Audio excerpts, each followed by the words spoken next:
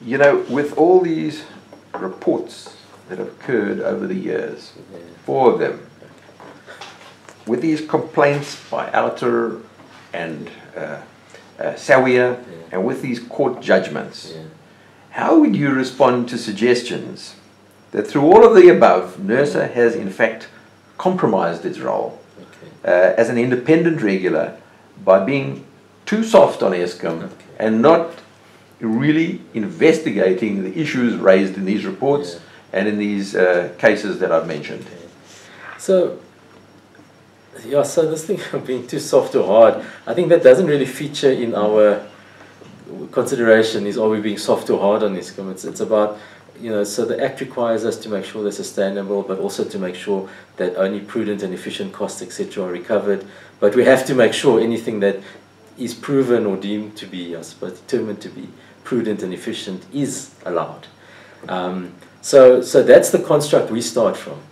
You know, and, and yes, you have information asymmetry, there's stuff that comes out, but our stuff is around the economics. Um, you know, I, I think some of those reports might talk to, you know, alleged fraudulent activity and all that. I'm really of- talking about irregularities and Yeah. inefficiencies in Yeah. procurement Yeah, of diesel Yeah. and coal yeah. and other procurement activities. Okay, so that, that, that is, I mean, if they haven't procured efficiently, and uh, if I remember correctly, in the, was it the last RCA, we didn't allow them the, the OCGT because we said that was your allowance, you know. Um, and uh, coal is an issue, um, and how they procure, etc., so that will be looked at as we go.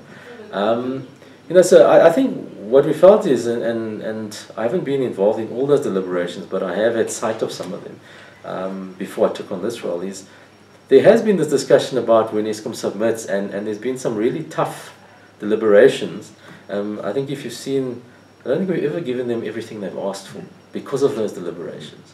You know, so uh, we've got the act, got, and then there's the other one, and I think which is is 2008. There was a, a, a revision of the, I don't know if it's the regulations or the act that says we have to give Eskom a return based on replacement value rather than historic depreciated.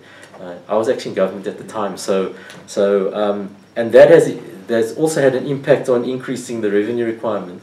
Um, and I think if you talk from the other side of the fence, what we did realize was that um, because of the escalation in cost of new equipment, if you just depreciate your old equipment, you're not recovering the money to replace. Mm. Um, and actually, that's symptomatic of what we've got now, is that it was done too late, in my view, Mm.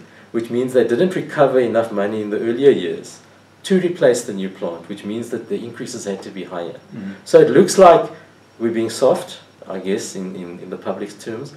Um, but actually, the fact is, it's a decision made on what is required to provide. And yeah, you can have debates about what the provision requirement should be, but given the construct that we're working with, the current IRP, um, you know, the cost that they can prove and how they do it. And yes, in MYPD4, with all these reports coming out, we would have to look at the efficiencies. So that's where we would come in, is to say, well, if these reports are saying they were inefficient, we need to go and look at that and say, well, they presented this cost. So going forward, and they've said this is the cost, is that efficient or isn't it? You know? So that's where, where our kind of space would be. Um, and uh, I guess it's a perspective, right? Eskom would say we've been very hard on them. Public is saying we've been very soft. Um, you know, and I, and I think we'll have a discussion about the, the, the recent, um, de- well, not confirmation of the determination, you know. Is that a hard or soft decision? I don't know. So,